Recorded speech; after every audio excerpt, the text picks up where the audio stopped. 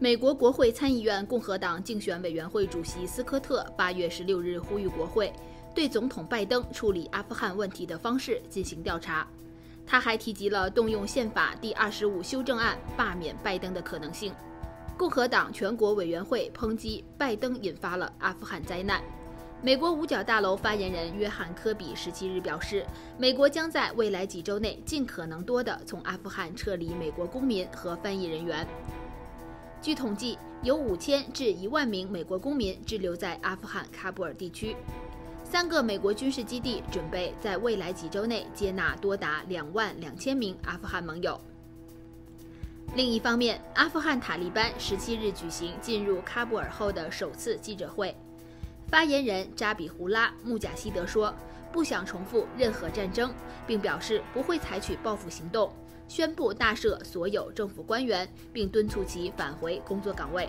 欧盟方面，各成员国外交部长当天就阿富汗当前局势召开特别会议，呼吁阿富汗各方尊重做出的所有承诺，进一步寻求包容、全面和持久的政治解决方案。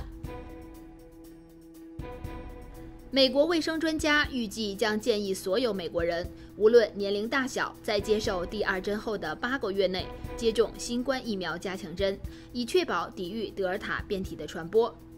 联邦卫生官员一直在积极研究是否需要在金秋提供加强针。他们回顾了美国的病例数以及以色列等其他国家的情况。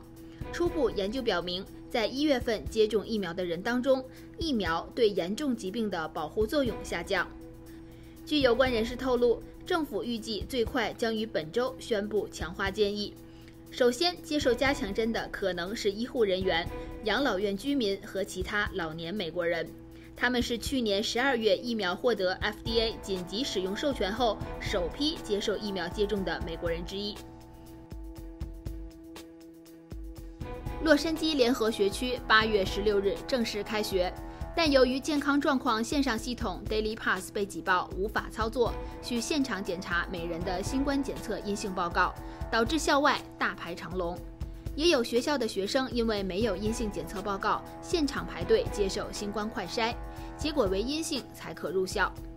根据周一晚些时候公布的数据统计，该学区大约百分之八十一的学生在八月二日至十五日期间接受了新冠基线检测。